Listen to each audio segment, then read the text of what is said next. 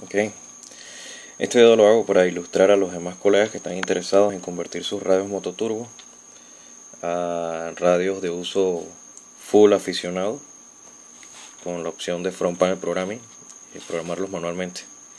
Más que nada el video lo hago porque busqué en internet y solamente había un video y poca información. Estuve a punto de creer que era un fake, pero si existe es real y se los voy a demostrar. Vamos a encender el equipo. Este radio portátil mototurbo DGP 6150. Están las posiciones que tiene programadas, las frecuencias en banda aficionada.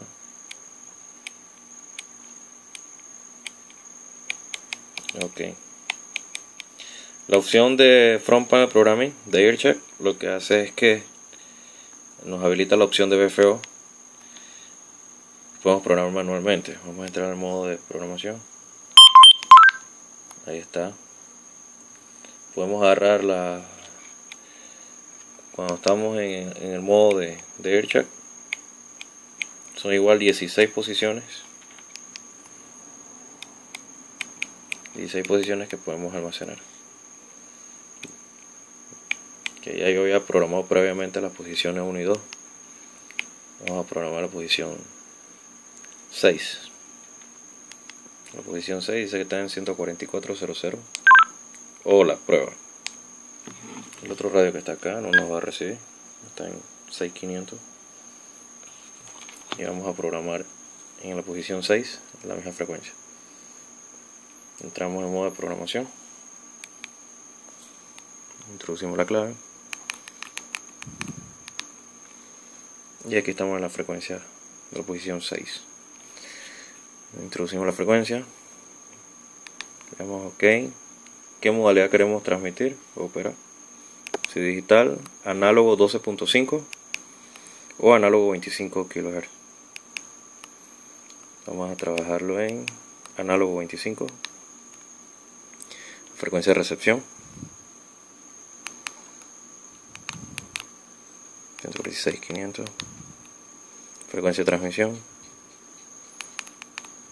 146 500 el receptor si lo queremos con pele, sin pele, tonos audibles, sin tonos audibles.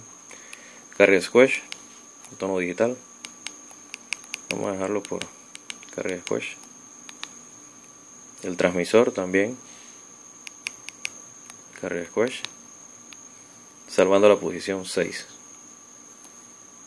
podemos editar otras. Poner lo que queramos la posición 7 vamos a poner otra frecuencia aquí. Vamos a poner decimos ok.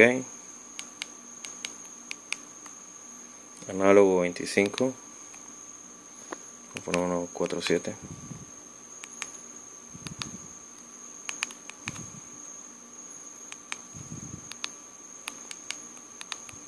sin tono.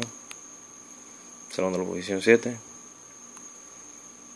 y en la posición 8 vamos a poner la misma 1 46500 nada más que en digital. Se pueden editar frecuencias tanto en digital como en análogo en digital. Una frecuencia.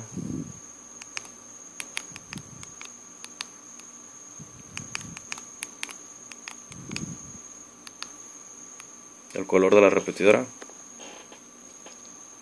0 el slot todo el slot es por la tecnología como trabaja Mototrug TDMA, slot 1, slot 2 vamos a verlo en el slot 1 el tipo de llamada llamada de grupo, llamada general llamada privada. Una llamada de grupo. Y el número del grupo. El grupo 1, 2, 3, 4 Ahí está salvado. Cuando terminamos de editar todas las frecuencias que, queramos, nos damos back. Y ya el radio. Dijimos que era la posición 6. Análogo 6. Ahí está. En la esquina al lado izquierdo salen las la posición. Análogo 6. Análogo 7 digital. 8 vamos a, a transmitir. 146500 tenemos el receptor. 146500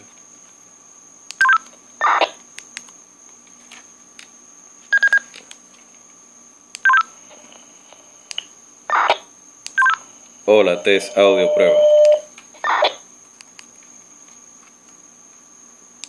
Test prueba audio, hola.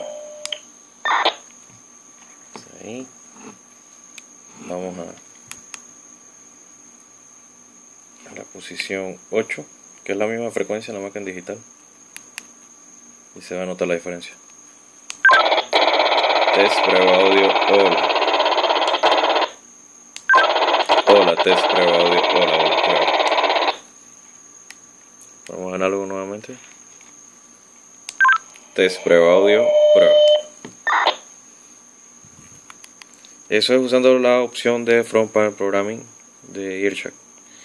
Y si queremos usar nuevamente las frecuencias que tiene el radio, salimos del modo manual y entramos nuevamente a las frecuencias que estén programadas por computadora sin haber afectado ninguna.